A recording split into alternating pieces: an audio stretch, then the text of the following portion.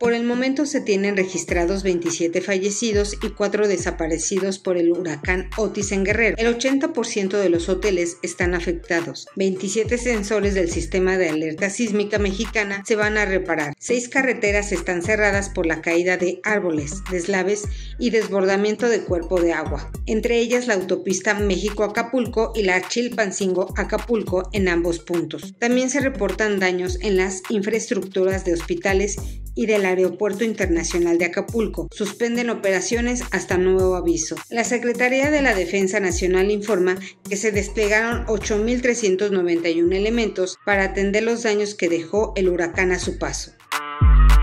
El movimiento de resistencia islámica Hamas afirma que al menos 50 rehenes han muerto por bombardeos de Israel en Gaza. Por su parte, las autoridades israelíes confirman que al menos 224 personas fueron secuestradas por el grupo armado palestino durante los ataques y tienen cifras de que 309 militares han muerto desde entonces, sin contar los cuatro rehenes liberados.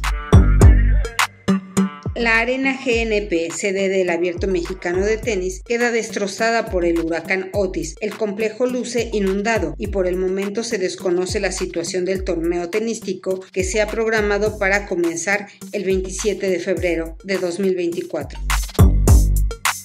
Guillermo del Toro está rodando Frankenstein y los protagonistas son Andrew Garfield, Oscar Isaac y Mia Goth. Este proyecto será una nueva colaboración con la plataforma de streaming Netflix para adaptar el libro de la célebre escritora Mary Shelley